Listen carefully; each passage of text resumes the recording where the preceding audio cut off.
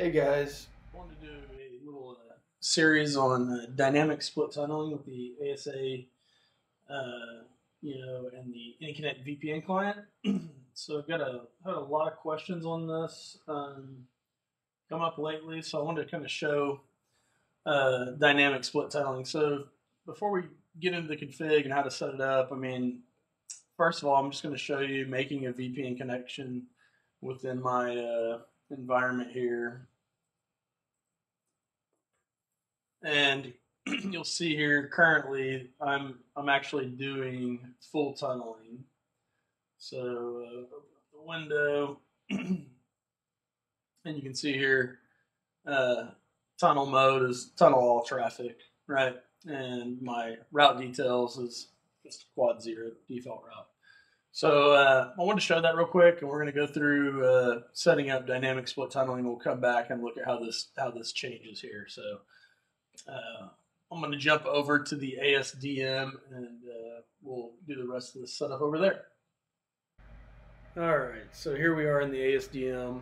Um, before we get started, uh, just want to kind of talk about dynamic split tunneling. So you know, it's become a pretty hot topic with the um, you know the pandemic and so many people working from home remotely. But the idea is that um, you know instead of full tunneling everything uh, back to a headquarters, I um, I can choose what domains I want to not be sent back over the tunnel, and I want to split off so that the uh, end user can uh, access that site using their local internet access. So pro- providing a better end user experience ultimately and some of them are obvious, you know, like maybe Netflix, something that's really high bandwidth, you know, using a lot of bandwidth, but also like WebEx, and that's been that's been a popular one, you know, like Zoom um, is another big one. So um, instead of uh, tunneling that traffic back over uh, the tunnel and out through the internet at the um,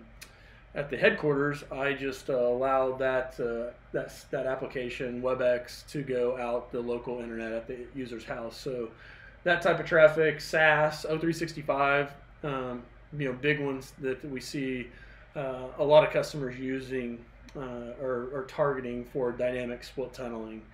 So uh, just wanted to kind of give you guys a uh, you know heads up on what I'm seeing it used for, but we'll kind of jump in and um, start the configuration here uh, within ASDM. So I'm going to go to configuration up there. I'm going to go down to remote access VPN and then uh, go to uh, the uh, network client access and then down um, to the uh, um, AnyConnect uh, or I gotta go to advanced first actually. Advanced and then uh, AnyConnect uh, custom attributes. I'm gonna add one here.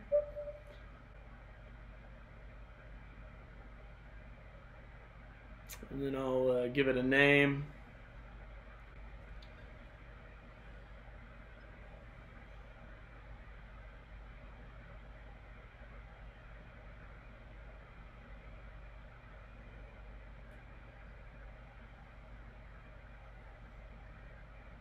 maybe a, give it a description also.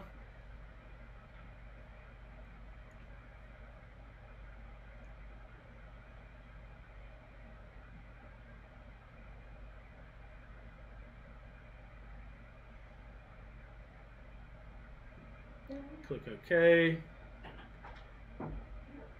Click Apply. Then I'm going to go down to Custom Attribute Names. I'm gonna go ahead and click add and the, uh, the type is the one I just added there. It's the only one that's, uh, that's available. So, you know, I got that one. But I'm to add some uh, domains here. So go ahead and uh, click add here.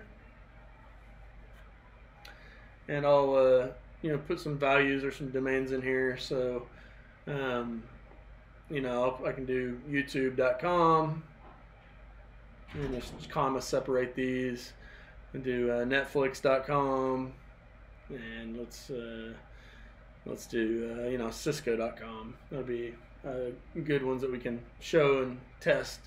So add those. Click OK, and uh, click OK. Now I gotta give it a name. Just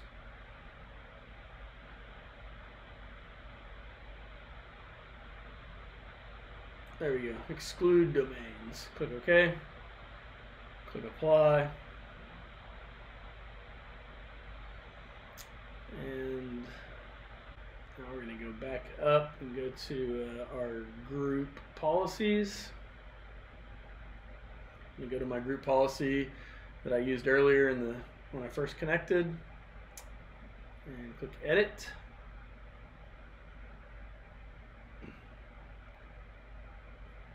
And I'm going to go to advanced and split tunneling.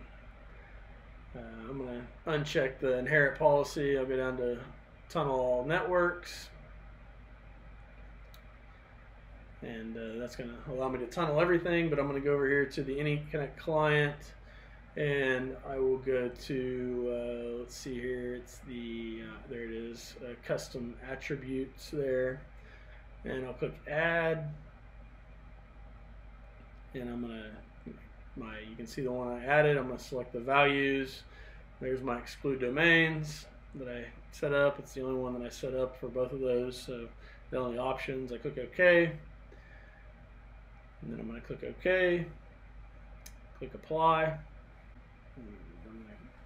Close that.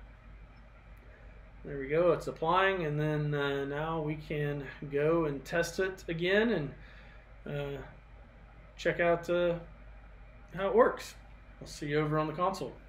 Back over at the VPN client. So we're going to make a VPN connection again and take a look at um,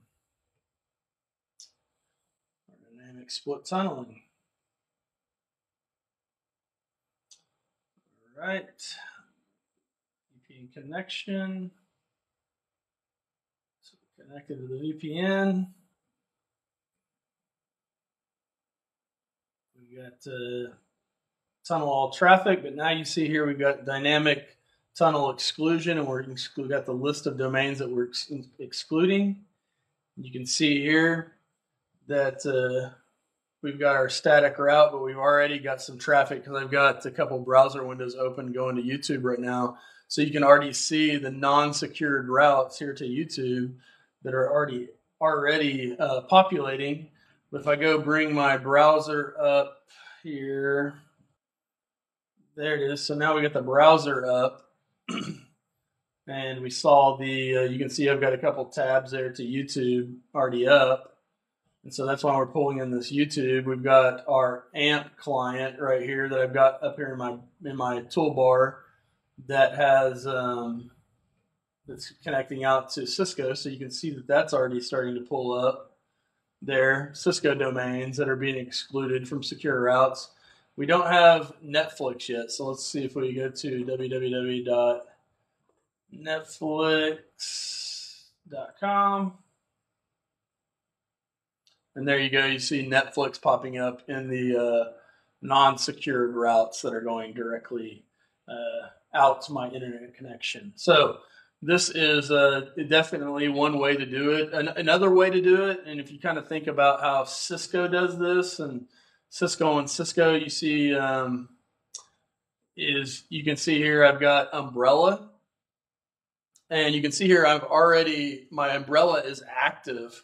So if I were full tunneling, and if you remember on the last video, whenever I, um, the last time we first did this connection, this green check mark was not here for the umbrella, and it's because of the integration with umbrella and the AnyConnect client. So if I make that full tunnel, umbrella knows I'm tunneling everything back to my head end where I actually have, um, you know, umbrella inspection on that network working. So it it doesn't need to be active in my AnyConnect client. So now um, that I'm actually, it sees that I'm making DNS requests out and um, locally, well, it's going to go with a green check mark there because it needs to be providing that DNS security for this uh, traffic that's going out to the internet. So, um, you know, one of the things with this whole, you know, secure remote worker and just all the remote workers, uh, you know, these days is you're starting to see a lot lot of companies that aren't doing full tunneling anymore. So they put a, a, security tool like Umbrella in place that provides you the ability to not only have DNS security, but now Umbrella has web proxy in the cloud and firewall in the cloud. So I can um, tunnel the traffic that I, that's interesting to me. So my corporate, you know, home networks, my RFC 1918 addresses that need to go to headquarters, I can tunnel those and get to all the applications and services that I have at my uh, data center or my headquarters. But for all other traffic, it's going to go out my user's local internet, and I'm going to apply security policies from Umbrella.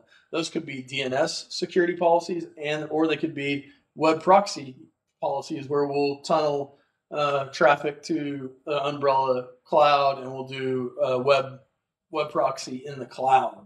So now I got that same security policy no matter where my users travel home at a coffee shop traveling in a hotel but i also have that visibility as to what they're doing when they are outside of the office. So um, that's really the kind of where i see this going and a lot of people moving is, a, is away from this full tunnel and you know um, all my security tools being behind my four walls of my office we're kind of going to this uh, deperimeterization um, you know mindset that that goes back really to the very beginning of the zero trust days um, when you had the the Jericho Forum and things like that.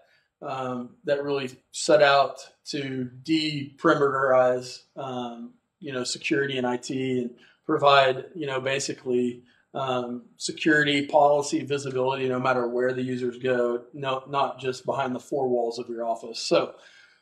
Um, I know that's a lot of information. If you're interested in talking a little bit more about um, Umbrella or you got some questions about dynamic split tunneling, please feel free to holler at me um, and look forward to talking to you. Please uh, like this video and subscribe if you haven't.